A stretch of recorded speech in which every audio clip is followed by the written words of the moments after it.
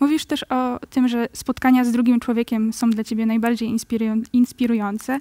E, kto był taką inspiracją w twoim życiu? W moim życiu prywatnym? Tak, prywatnym i zawodowym. Mhm, w moim życiu prywatnym, no to na pewno taką dużą inspiracją gdzieś e, są, no są rodzice i, i dziadkowie, i dziadziuś mój, który często powtarzał właśnie o tym szacunku do drugiego człowieka, mówił. Rodzice tak samo gdzieś tam nas wychowywali w ten sposób, w tym duchu.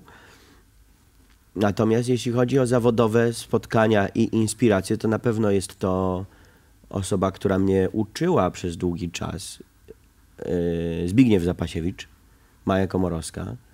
Yy, Później to są ludzie w teatrze, osoby, które, które poznałem, które gdzieś tam już stawiałem pierwsze kroki razem z nimi na scenie pan Krzysztof Kowalewski, pan y, Michałowski, Piotrek Garlicki, Borys Szyc, Kaśka Dąbrowska. No to jest całe to, to grono naszego teatru współczesnego, który znasz. Znam, znam, doskonale znam. Tak, od kuchni, można by powiedzieć. Mm, później zawodowo też gdzieś filmowo, no to jest pan Andrzej Barański, który, który też ogromną szkołę mi dał i to, i to jest takie niezwykłe połączenie też Andrzeja Barańskiego i Quentina Tarantino, który później się dowiedziałem, że obejrzał Księstwo.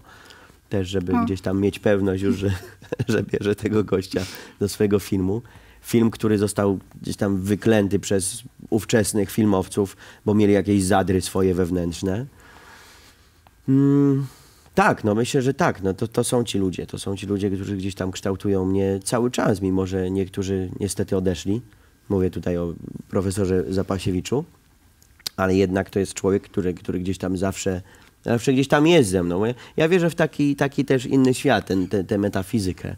Jak, jak Zapasiewicz zmarł, to mi się później zaczął śnić i, i tak co jakiś czas przychodzi i mi się śni. Także to jest fajne też. No, myślę, że w naszym zawodzie w ogóle, mówię o aktorach, mm, nie da się, nie, nie mówię być wierzącym, nie, niewierzącym, ale nie da się nie wierzyć, bo, no bo ty musisz uwierzyć w świat, którego nie ma